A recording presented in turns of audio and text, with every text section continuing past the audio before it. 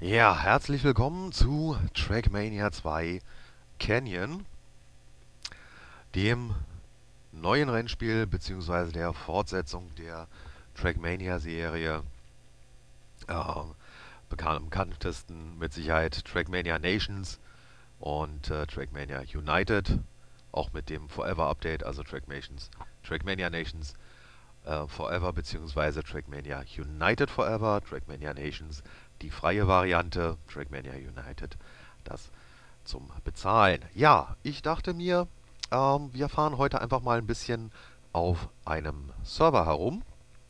Und zwar will ich aber vorher einfach nochmal ein anderes Auto mir aussuchen. Ähm, nehmen wir mal das hier, schön rot-weiß. Und dann gehen wir, ich möchte die Änderung speichern, ja. Oh, da, da, da, Online-Spiel und ich habe mir schon den Server meines Clans XR äh, hier in die Favoriten gepackt und da werde ich jetzt beitreten und da werden wir sehen, was da passiert. Wir werden einfach mal heute gucken, ja, ein bisschen fahren, dann ein bisschen uns angucken, wie Strecken aussehen, die andere bauen. Meine erste Strecke habt ihr ja schon gesehen. Und hier sehen wir also das Intro eines Tracks. Das kann man in Trackmania auch machen, wenn man den Track baut, dass also vorher was angezeigt wird. Und hier sehen wir also auf dem Server mein Auto. Und ich bin gleich so weit, dass ich hier losfahren kann. Ich sage nur dem Kollegen kurz Bescheid, dass ich wieder da bin.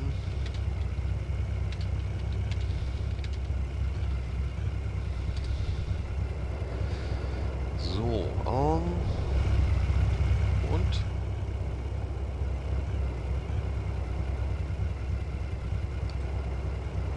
Passiert da was?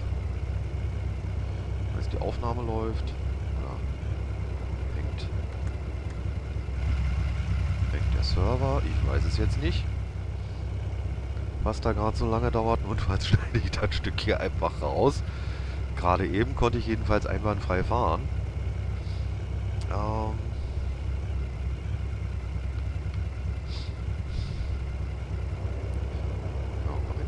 funktioniert, aber jetzt der Server.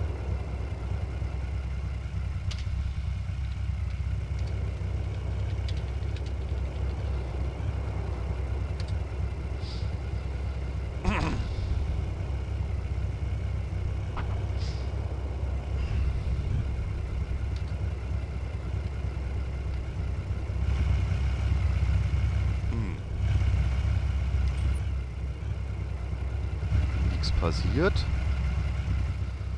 Schauen wir mal. Gehen wir mal raus. Und... Zack. Ja, äh, wenn man es gerade zeigen kann, hier hat man also eine Serverliste und viele Möglichkeiten, Server auszuwählen. Ähm, die empfohlenen Server, das bezieht sich immer so auf den eigenen Schwierigkeitsgrad, auf den eigenen Level, auf den eigenen Skill, den man beim Fahren erreicht hat. Na, hier werden also dann Server ausgewählt, wo der Durchschnitt der Fahrer, die gerade auf diesem Server fahren, ähm, in etwa so stark ist wie mein sel man selber. Das wird also mit der grünen Lampe angezeigt. Wenn wir hier mal gucken, dass wir einen anderen finden. Germany, da muss doch, muss doch was offen sein ist jetzt alles, äh, ja, hier haben wir zum Beispiel, na, hier ist es also der Durchschnitt der Fahrer besser als ich, etwas besser als ich. In Rot würde heißen, noch viel besser als ich. Ja, ähm, das Dreieck nach unten heißt, der Durchschnitt der Fahrer ist schlechter als ich. Ähm, das heißt, ich werde dort wahrscheinlich die Rennen gewinnen, aber ich werde hier keine Punkte oder nur sehr wenige Punkte für die Rangliste machen. Ja, das äh, kennen wir eigentlich schon aus. Trackmania United. So, ich will noch mal gucken, ob wir jetzt hier raufkommen. Beitreten. Und ich bin da gerade in den Map Change reingelaufen. Schauen wir mal, wie das jetzt hier weitergeht. Taste drücken, zack. Und die Strecke kennen wir doch schon. Ah, da haben wir den Countdown. Und dann kann es also losgehen. Schauen wir mal, wie wir uns hier... Hier, da ist der Checkpoint. Das wird man wahrscheinlich driften müssen. Ja, und das ist also ein Problem, was ich häufig habe bei äh, Strecken, die ich nicht kenne, dass ich mich hier einfach gnadenlos verfranse, beziehungsweise den Weg nicht finde. Und ihr seht, äh, die Streckenbauer haben also schon die äh, Driften, okay.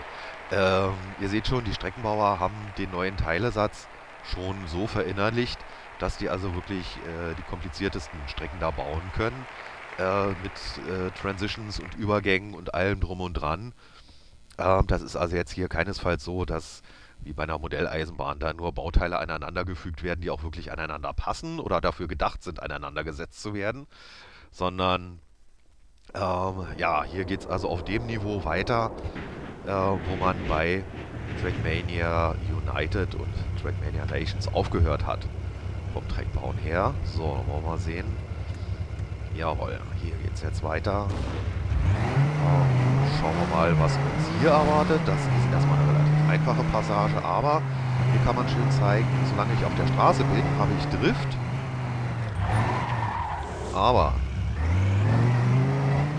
so, ähm, sobald ich hier von der Straße abweiche und also auch nur mit einem Reifen auf den Dreck komme, äh, ist der Grip weg. Ja, und ich fange hier dann also an zu schleudern. Und wir werden auch dann jetzt mal testen, wie weit man die Trackmania-Karre zerlegen kann, ohne dass sie wirklich zerfällt.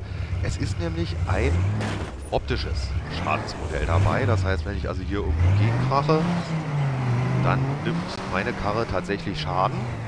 Wird also nicht nur dreckig. Ihr seht es hier an der Motorhaube, die ist eingedellt. Die werden wir mal noch ein bisschen schlimmer zurichten. Holla und so, schauen wir mal. Das hat allerdings keinen Einfluss auf das Fahrverhalten. Das bleibt also unverändert. Und jetzt mal wenn ich auf der Strecke bleibe, da haben wir eine schöne Schikane. Und Abflug. Jawohl. Und ihr seht, ja, Motorhaube fängt an sich zu lösen. Kofferraumdeckel wird auch gleich wegfliegen. Weiter geht's. Türen werden sich auch bald verabschieden.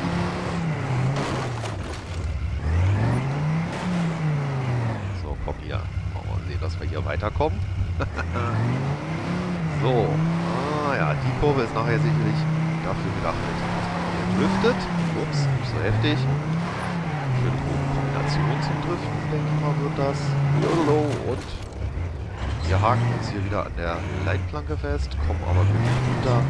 Wir wollen ja sehen, wie viel Schaden wir tatsächlich hier dem Auto zufügen können, wie weit das optische Schadensmodell geht. Die Kurve wird wahrscheinlich, wenn man es richtig fährt, den Track vorher auch gedriftet werden müssen. Geht's jetzt hier lang. Da verabschieden sich Motorhaube und Kofferraum. Okay, das Auto wird leichter, ne? Gewicht sparen muss man ja. Hier muss man driften, wenn man es richtig macht. Hier, da wird man es auch müssen. Sonst kommt man hier nicht um die Kurve rum. Ich nehme hier mal alles mit, was sich so anbietet. ja, ich halt den Schenk hier auch das erste Mal. Na, das äh, ist es ja auch der Reiz bei Trackmania und jetzt es hier Booster. Aha. Was ist denn das hier für eine Die kenne ich ja noch. Aha, so zwei, okay. Baustelle, da Das Teil hier, das habe ich ja noch gar nicht gesehen. Aber gut, so kleine Schikane, Strecke teilt sich kurz und wir sind im Ziel. Huh. ja, also Zeit kann man natürlich vergessen. Ja, auf der linken Seite seht ihr also hier die Bestzeiten. Eine Minute rund soll man hier brauchen. Mal sehen. Und wenn ich jetzt neu am Start bin, ist natürlich das Auto wieder komplett repariert. Jedenfalls optisch. Ja. So, dann sehen wir mal zu, dass wir hier sauber... Ah, da, da, da, da. Okay, haben wir uns einfach kurz überschlagen. Äh, ist ja auch ein wesentliches äh, Element in Trackmania. Da haben sich also Leute wirklich darauf spezialisiert, äh, Stunts zu fahren, Freestyle äh, zu fahren, wie halt die Skateboarder und dann da so Tricks und Kunststücke zu machen, äh, die natürlich besser aussehen als das, was ich hier unabsichtlich fabriziere. So. Sollte ja klar sein. So. Aber ich bin schon deutlich schneller unterwegs als beim letzten Mal, bei der letzten Runde. Schauen wir mal, hier kommt ja jetzt die Linkskurve, die man schön driften soll. Das hat auch besser geklappt als beim letzten Mal. Zack, schön den Drift rein vorher. Trotzdem jetzt die Heckscheibe mal abgelegt. Ja, diese S-Kurven-Kombination hat es halt in sich. Der Track selber ist relativ konventionell gebaut, muss ich mal sagen. Ja, so wirklich so Stück und Rom hier bisschen schlecht beleuchtet. Vielleicht kann aber auch daran liegen, dass ich einfach jetzt hier durch die Sonne geblendet werde, die durch mein Fenster reinschaut. Ja, ich weiß nicht, ob die auch Trackmania spielen will. So, ihr seht also 1.23 habe ich geschafft, mich rangearbeitet. Und so verbessert man sich halt immer. Je öfter man den Track fährt, desto besser kennt man ihn natürlich. Na, kennt die Tücken, Schikanen, er hier so hat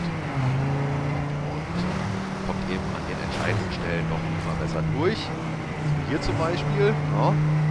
Jetzt habe ich hier Lust drauf, dass ich hier schön driften kann. Das klappt so halbwegs auch wesentlich besser als beim letzten Mal. Und äh, ja, auch hier, zack, schön Drift. Oh, ja, Mensch. Gar nicht mal so schlecht. 9 Sekunden habe ich nochmal rausgeholt im Vergleich zur letzten Runde. Das wurde einem an den Checkpoints immer angezeigt. Mal, hier den zu, zu weit außen angesetzt, Drift.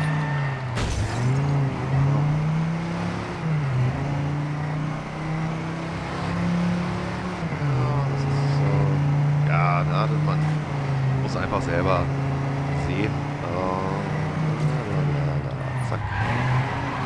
Gut, ein bisschen überdriftet, aber wenigstens nicht an die Wande geknallt hier. Jetzt zum Beispiel. Ja, dann geht die Motorhaube weg, Kofferraum. Wer braucht das? Türen, kann man alles, alles sparen. No? so, ja, ne? Damit ist jetzt dieser Track durchgelaufen. Auf dem Server wird jetzt der Track gewechselt. Ja, meine Bestzeit hier auf diesem Track in dieser Session 1 Minute 15 da ist durchaus noch Potenzial nach oben drin, muss ich mal sagen. Ne? Aber da ich hier alleine gefahren bin, habe ich also keine Punkte für die Rangliste bekommen. Ne? Und schon geht's weiter mit dem nächsten Track. Schauen wir mal, was uns da erwartet. Auf geht's. Oh, schönes Intro, schöner Effekt hier gemacht. Ähm, das ist, wie gesagt, direkt mit den Bordmitteln von Trackmania gemacht, so eine Sache. Ja, die Intros für den Track, ja, da hat auch jeder so seinen eigenen Stil, ob er überhaupt eins macht und wenn ja, wie aufwendig. Da gibt es auch richtig kleine Kunstwerke. Das ist der Track, den ich hier, glaube ich, beim Testen schon mal gefahren bin. Ups, Grip ist weg. Ich bin aber doch sauber wieder auf die Straße zurückgekommen. So, da haben wir hier diese Tunnel. Den Track kenne ich schon ein bisschen. Die Steilkurve hier ist tückisch, da geht man nämlich leicht über den Rand weg, gerade wenn man aus dem Tunnel kommt und von der Sonne geblendet wird. Ja, das ist auch berücksichtigt. So, schauen wir uns mal ein bisschen zurecht. Ah, da wird eine Rechtskurve angezeigt, also schön gedriftet, wollte ich gerade sagen. Ja, aber doch. Ja, und jetzt hier ein Looping. Klassisches Element aus allen Trackmanias eigentlich, dass man hier solche Loops baut. Hier geht es dann auf der linken Seite weiter weiter. Ja, verfahren. Okay. Oh, also die Rechtskurve, wo wir hier so schön durchgedriftet sind. Und schauen wir mal. Jetzt Looping. Ich kriege durch den Boost entsprechend Schub. Und wie geht es dann hier weiter? Ah ja, okay, hier durch und dann hier in den Drift rein. Und zack, gleich wieder nach rechts nochmal nach rechts. Das ist bei Speed sind das natürlich schöne Drifts. Ich bin jetzt ja hier ein bisschen langsam unterwegs, weil ich aus dem Weg rausgekommen bin. So, und... Yo, ah, okay. Da sind wir durch. Das ist hier nämlich ein sogenannter Multi-Track. Hier, das ist Start und Ziel gleichzeitig. Ja, und wenn ich also durchs Ziel fahre, starte ich gleich die nächste Runde mal sehen, wie sich jetzt hier die Zeiten verbessern, wie ich mir also diesen Track hier erfahre und halt immer besser werde. Das ist so ja, das ist, was ich vorhin beschrieben habe, dass man halt aus dieser Steilkurve sehr leicht rausfliegt. Genau. Ich setze einfach am letzten Checkpoint, den ich passiert habe, wieder ein und komme dann hier sauber raus. Geht dann wieder in den Tunnel rein die Straßenpassage hier, wo es halt schwierig ist, nicht auf den Rand zu kommen und Grip zu behalten. Ab in den Drift. Da weiß ich ja, es geht hier runter, da muss man ein bisschen aufpassen. Und schön Speed mitgenommen hier. In den Looping, da ballern wir jetzt mal richtig schön durch. Und hier wissen wir auch, jetzt kommt der Drift. Ja, ein bisschen hart angesetzt. Speed verloren, aber ich kann hier weiter driften. Durch die Kurve durch. Und hier auch nochmal im Drift weiß, da unten liegt ja, ups, noch eine. Ups, da war ein bisschen früh angesetzt. Hier muss man also doch ziemlich eng aus der Kurve rauskommen. Was war es jetzt? Ah, zwei Sekunden noch vom Start. Aber schauen wir mal weiter. Ups, das bringt mich jetzt nicht nach vorne. Außer indem es mir hilft, weil ich hier weniger Speed drauf habe, dass ich hier nicht aus der Steilkurve rausfliege. Ja, die kann man natürlich auch freischwebend einbauen. Eine Sache, das ist dann besonders atemberaubend, wenn man also dann ein schmales Stück Beton hat und dann oben Luft. Zack, und rein in den Drift hier und rum, da. Ja. Schön den Booster mitgenommen. Zack, der Looping, ja, da war ich ein bisschen langsam. Zack, äh, zu spät in den Drift rein, deswegen Bande geknallt.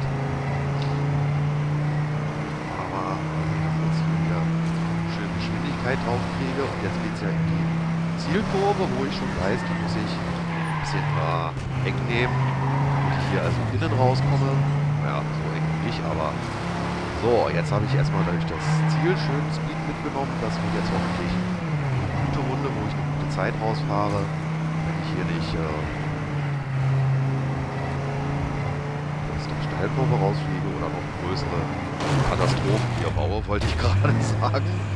Ach nee, boah, zack, auf die Strecke und weiter geht's. Durchhalten hier. Ja. Zack, schon weiter und runter. Ja, diese äh, Schilder zum Beispiel, das ist auch so eine Sache. Mit Trackmania, äh, heißt der Track hier, Red was hier. Und äh, die Beschilderung des Tracks, was also hier rechts und links Kurven und so weiter angeht, diese schwarz-weißen Schilder mit der Ratte, die sind also vom Erbauer des Tracks hier mit eingefügt worden. Ja, da kann man auch selber bestimmen, wie die Schilder aussehen. Und äh, also hochladen, wenn jemand den Track dann fährt, dann kriegt er den auch entsprechend mit den Schildern angezeigt. Da können sich also die Künstler richtig austoben. Ich schaufel mich hier mal so durch. Die Karre ist schon ziemlich lediert zieht aber immer noch natürlich, als ob sie neu wäre. Wie gesagt, das Schadensmodell ist nur optisch. Ja. Das ist ja auch so eine Besonderheit von äh, dass man äh, an den Fahreigenschaften des Autos nichts ändern kann. durch, durch Tuning oder sowas, das gibt es hier alles nicht. Sondern alle müssen mit derselben Fahrphysik klarkommen und äh, sich halt drauf einstellen. Bei Trackmania United gab es halt mit den sieben Umgebungen auch sieben verschiedene Fahrphysiken. Da war halt dann eben auch für jeden was dabei. Äh, bei Nations natürlich nur eine und jetzt bei Trackmania Canyon auch erstmal nur eine Canyon. Mal sehen, was habe ich hier für eine Zeit rausgefahren. 1.02. Das ist ja gar nicht mal so schlecht. Na gut, die besten Zeiten sind hier noch 10 Sekunden drunter. Das ist so ungefähr mein Standard, mein Level, den ich hier erreiche äh, beim Fahren in äh, Trackmania. Ich bin also wie gesagt kein allzu guter Fahrer. Einen Track werden wir hier einfach mal noch mitnehmen. Schauen wir mal, was uns da erwartet. Ja, da sehen wir, das ist also schon wieder so ein richtig zusammengebauter Track. A Cool Track heißt er hier. Schauen wir mal, was er uns bietet.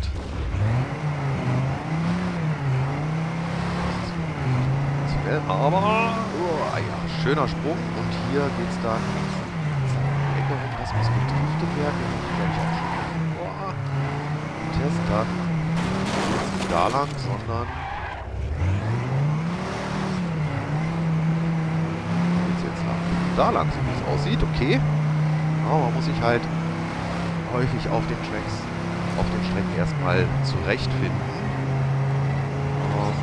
Das natürlich eine interessante Sache, ist auch eine Herausforderung. Es gibt Spieler, die können das gut, es gibt Spieler, die können das nicht so gut. Die müssen halt Map erstmal ein paar Mal fahren, bevor man sie kennenlernt.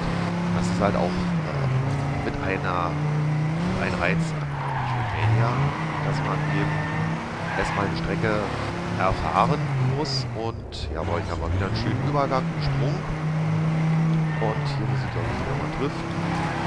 Ja, okay, wenn man richtig Speed drauf hätte, aber hier, zack.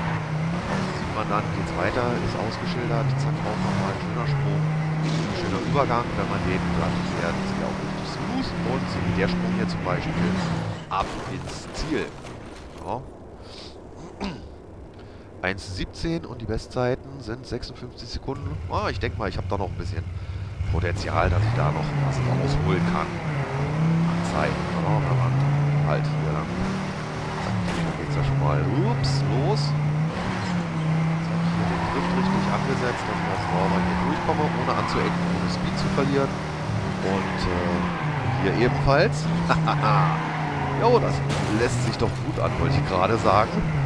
Bevor ich mir hier die halbe Seite aufreiße. Ja, vier Sekunden habe ich hier schon mal eingespart. Und trotz des Crashs bin ich also hier fixer unterwegs. So, ja, manche Tracks erfährt man sich eben auch leichter. Die haben einen Fluss, wie man sagt, einen Flow. Ja, also die Teile und Abflug ähm, doch so kommen, wie man sie erwartet. Halbwegs, dass das Ganze also ja einen schönen Fluss hat beim Fahren. Und der Begriff sagt es eigentlich auch schon. Und ja, verabschiedet sich wieder die Unterhaube. Jetzt habe ich hier mal den schön erwischt. Mal sehen, wir hier den Drift erwischen. Auf zwei Rädern geht das, glaube ich, nicht so gut. Aber egal. Damit geht es weiter. Und, äh, wenn man nicht den Laternenfall mitgenommen hätte. ja, das ist halt äh, auch ein begehrtes äh, Prinzip, sag ich mal, was man versucht zu erreichen, wenn man also Tracks baut, dass sie halt relativ leicht zu erfahren sind, also easy to learn, aber hard to master, dass es also braucht, bis man wirklich eine gute Zeit auf diesem Track herausfährt, dass man aber mit jedem Mal, wo man den äh, Track fährt, die Strecke fährt, merkt, dass man ein bisschen besser wird, dass man die Stellen ein bisschen besser immer kennenlernt, immer besser weiß, wie man welche Schikane zu fahren hat, wo man driften muss und wie man driften muss und wo man besser nicht driftet. So eine Sache. Beispiel solche Manöver, wie man sich die erspart. ähm, okay, ich fange mal einfach mit dem Checkpoint an. Ja, egal. Mit der Zeit, das ist jetzt hier der letzte, äh, oder der Abschlussritt, sage ich mal. Ja, ja, ich hier dann auch noch das Video rendern und dann für den Sonntag hochladen. So. Äh, ich habe ja auch die Grafik ein bisschen runtergedreht, damit ich halt äh, flüssig spielen kann. Ja, äh, ich habe hier also jetzt eingestellt eine Auflösung von 800 x 600. Die wird halt durch die Videosoftware äh, auf 16 zu 9 dann gezogen. Also das Auto sieht hier so aus, als ob es einen extrem breiten Arsch hätte. In Wirklichkeit hat es einfach nur einen einfachen breiten Arsch. Aber das passt halt auch zu der Karre. Die ist ja auch schön es wird mit Sicherheit auch bald äh, andere Autos geben, also andere Karosserieformen, äh, mal. Aber die Fahreigenschaften werden da natürlich immer dieselben bleiben, egal wie die Karre aussieht. No? Gut, das soll es soweit gewesen sein. Wir waren heute einfach mal auf einem Server, ein bisschen alleine unterwegs, konnten uns einfach mal mit ein paar Tracks vertraut machen. Ich konnte euch ein bisschen was über den Trackbau erzählen. Äh, habe hier Glück gehabt, dass ich also drei doch ein bisschen unterschiedliche Strecken äh, euch vorstellen konnte oder zeigen konnte, das Fahren darauf. Äh, dass ihr also auch gleich ein bisschen seht, wie vielfältig die Strecken in Trackmania sein werden. Da werden die Mapper also sicherlich noch einiges rausholen. ja, schließlich haben sie ja genug Übung da drin. Das war's für heute. Ich verabschiede mich erstmal von euch. Ja, und würde mich natürlich freuen, wenn ihr auch beim nächsten Mal wieder dabei seid. wenn ich mich entweder beim Fahren auf dem Server planiere oder wir irgendwas anderes uns angucken. No? Bis dahin, adieu mit Ö.